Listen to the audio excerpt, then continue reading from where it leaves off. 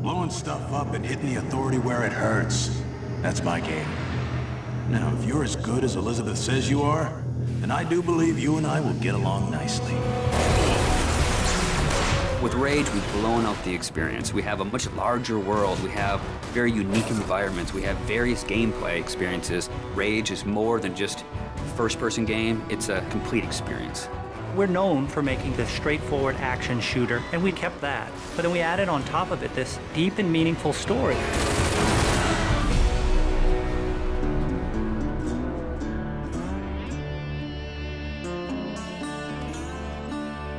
So the story of Rage. We had the setting, we knew we wanted to have it on Earth, then we had to decide how we would destroy the planet. And we actually found that there's a real asteroid, which is called Apophis, which will pass by the planet around 2036. So in the fictional world of Rage, when the governments of the world discovered that Apophis would hit us and destroy most of civilization, they initiated a program called the Eden Project, so the game starts out where you are an Ark survivor. You are one of those people buried in 2036. Your Ark emerges from the ground 100 years later. Unfortunately, you're the only one that survives in your Ark. So when you step out, you are alone. And it's this post-apocalyptic world that you rise up in, and it's this twisted version of the reality you used to know, and you really don't know what to expect. Current position unknown.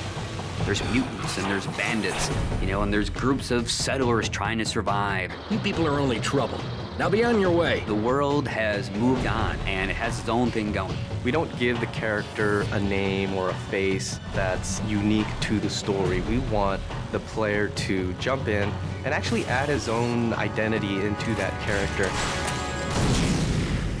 So when you step out of your Ark and Rage, you have no idea what your role in the bigger conflict will be.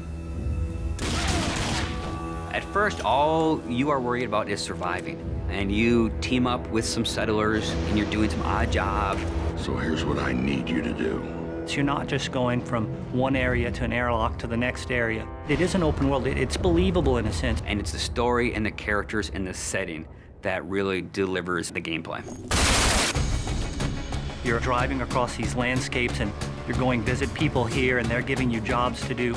And as you head out of your safe zone, you enter like a combat area. So you may find a handful of bandits with rocket launchers mounted on their cars. And as a player, if you wish to engage them, you can. If you wish to try to run and gun and get out of there, you can.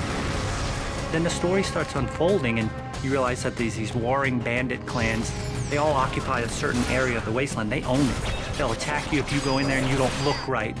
Then the same thing with the towns. If they don't know you, they're going to treat you like an outcast.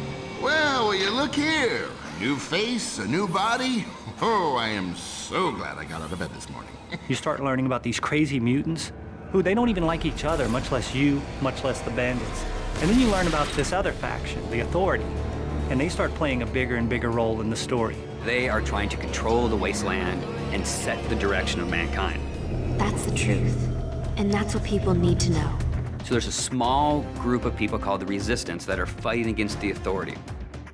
The Resistance discovers you and everyone knows that Ark survivors have a certain specialness to them. You got all those little computers racing around inside you. You know, as you move through the story and you become more important and people start to take notice of you, so does the authority.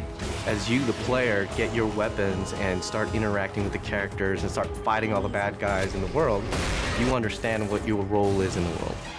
So, you're the new team member. The story in a game really gives meaning to the action. It creates the setting that all the gameplay exists on.